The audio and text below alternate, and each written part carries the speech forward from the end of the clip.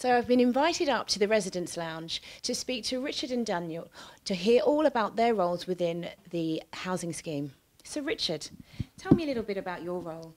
Um, I deal on the front line on a day-to-day basis with our clients and, and customers, tenants, etc. Uh, that involves uh, helping them fill out application forms, overcome any nerves and problems about filling in a form, moving out their property, moving on to the next step. Uh, there are five main schemes. First of all, you've got for those renting privately, you've got shared ownership and intermediate rent. For those who are council tenants, you've got the right to buy, the right to part buy, and the house, house purchase grant. And this is a scheme that's really popular at the moment. Um, actually, this last financial year, we helped one of our council tenants uh, change her life uh, who purchased via this scheme. Yes, Jean. Um, well, Yeah. We spoke to Jean a few days ago.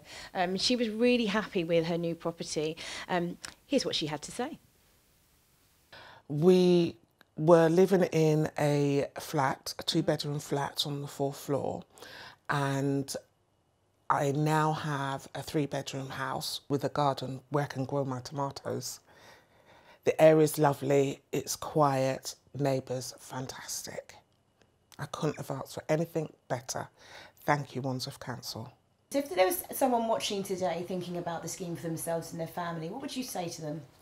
definitely go on the scheme, find out about the scheme, make sure it's right for you. Wandsworth Council do have other um, schemes available, but for us, it's the best thing that we could have done. We've done it, so you can do it as well.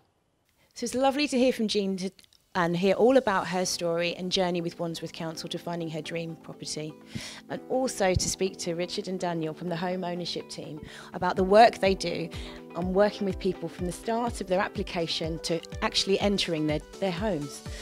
We all know how important our home is to us, and Wandsworth Council do a great job of working with those people within the, the borough. If you work or live within Wandsworth Borough and you're interested in anything that you've heard today, please check out the contact details on the screen. My name's Shelley Palmer and you've been watching South West London Television.